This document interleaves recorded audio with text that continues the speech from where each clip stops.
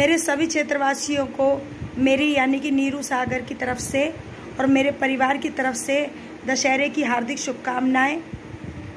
माता रानी सभी का कल्याण करें।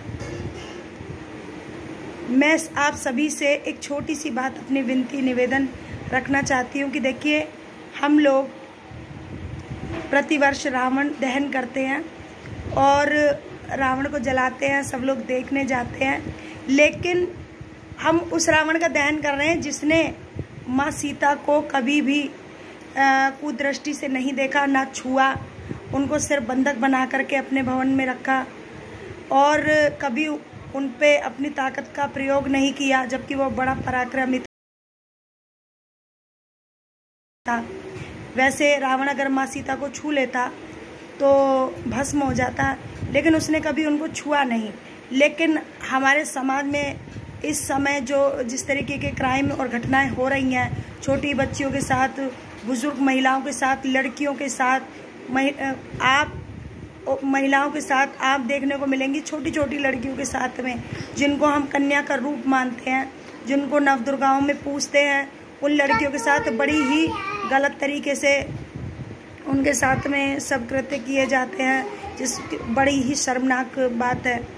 मैं ये नहीं कहती कि सभी लोग गलत हैं लेकिन देखिए, जो भी लोग गलत हैं, वो हैं तो हमारे और आपके बीच में से ही।